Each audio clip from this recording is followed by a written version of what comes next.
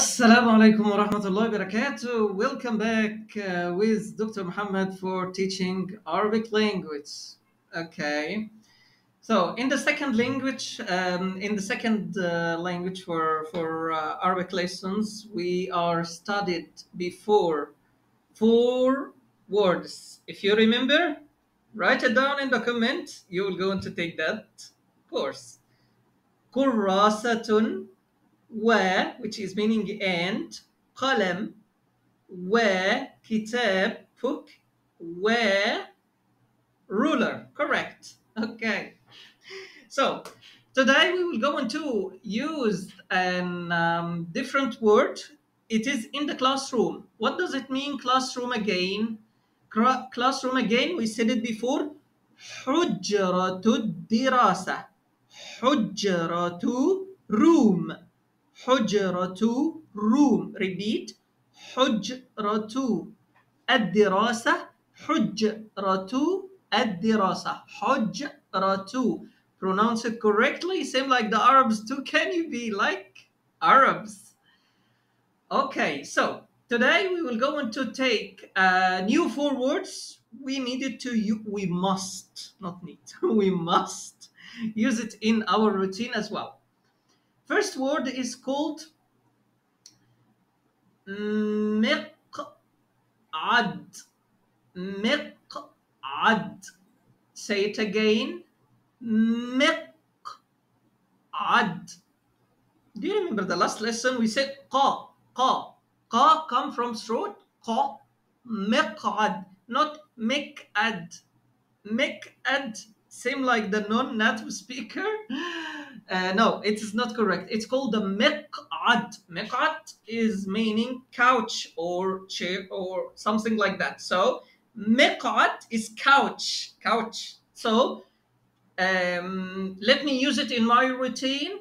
Um, i sitting down on miq'ad i'm sitting down on miq'ad okay that's good second word it's called maktab with a kaf this one easily. Okay so say it again. Maktab what does it mean? Maktab okay. Maktab is mean desk. Maktab is mean desk right?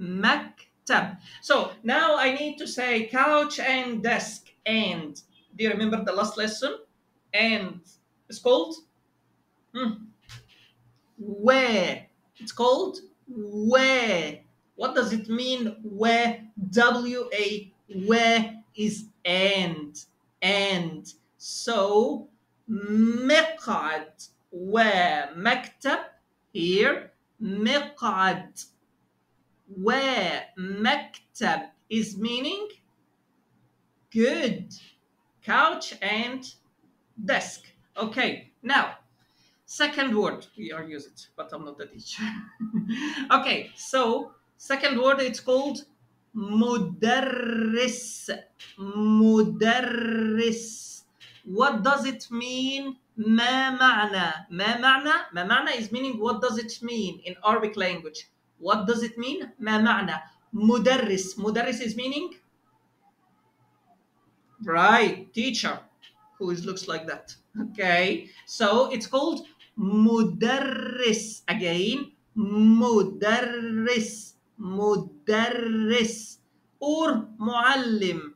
A lot of somali communities they say muallim muallim okay? So uh, in arabic language we are say mudarris or muallim. Both are correct. Okay so what are the tool that mudarris are used? Sabura. Subura. Subura is meaning board. Board. So mudarris wa subura. Again, mudarris wa subura. So I go to my school and I find teacher and board. How can I say it in Arabic? We should use it in the routine. مدرس وسبورة say it again these two sentence مقعد ومكتب مدرس وسبورة Okay, don't forget these four words. Okay, I need you to use it in your routine. Believe me, after experience 14 years for teaching Arabic language for the non-native speaker, and we are here in Egypt, we teaching all of the students in UK and Scotland and Canada and America.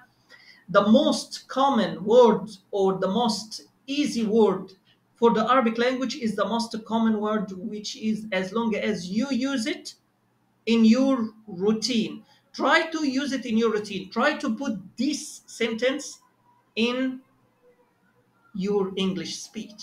Okay. Thank you. Assalamu alaikum wa rahmatullahi wa barakatuh.